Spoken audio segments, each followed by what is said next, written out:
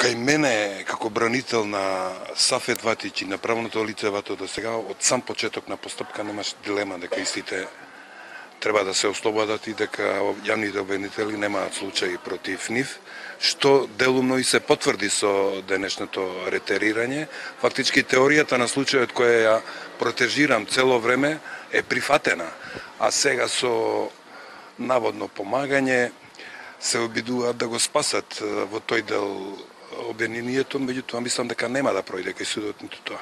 Конфискацијата на имотната корист од 17 милиони евра, колку што е противправно стекната, стекнатата имотна корист од предметното дело, ја бараме од фирмите кои што се и обвинети. Најпрви, значи, од фирмата Трансмет и од фирмата а, СТН Метали Силекс. Значи, дадовме алтернативно исто.